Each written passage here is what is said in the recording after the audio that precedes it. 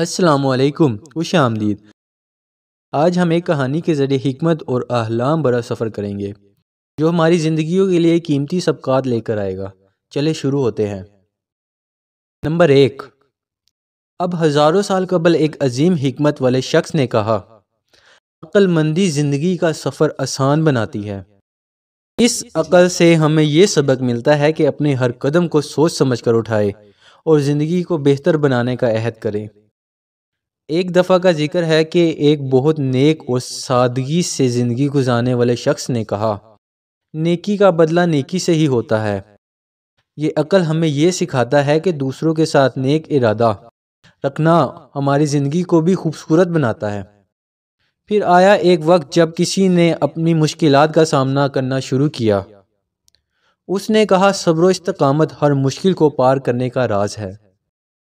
इस अकल से हमें ये बात होती है कि ज़िंदगी में आने वाले चैलेंजेस को बर्दाश्त से और हौसला बुलंद करके गुजारना चाहिए।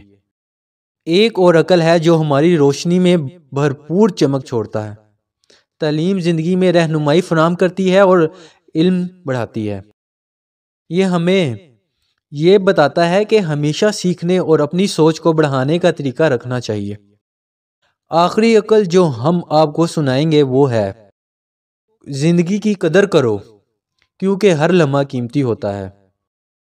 आज की कहानी से हमें ये सबक मिलता है कि ज़िंदगी के हर पल को कदर से देखे और हर मुश्किल को आसान बनाने का तरीका सीखे। उम्मीद है आपको ये कहानी पसंद आई होगी।